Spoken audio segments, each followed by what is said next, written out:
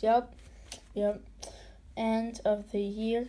I'll be making probably a video like um the second January maybe of a real New Year's video, but this is just saying Happy New Year's. Um, it was pretty decent year. Give it a negative, negative nine. Just thinking of a number, negative nine out of ten.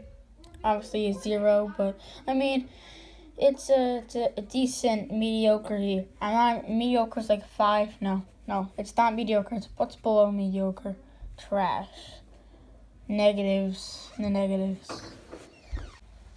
But again, it looks like it could be a better year, maybe, but it's actually been good because obviously YouTube channel, 100 so many subscribers.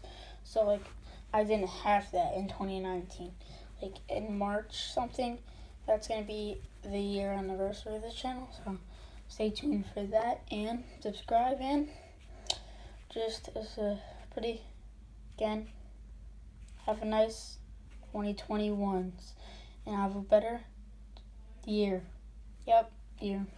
Have a nice day and year. So, see you next year. Get it? Because the next video I make is going to be next year. So I'm not going to make a video for the whole year. Get it? This next video will be, be next year. Get it? I'm going to make a video for the whole year. Get it? Because next video could be like January 2nd.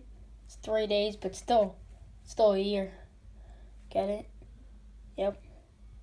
See you in a year. That's best joke, right?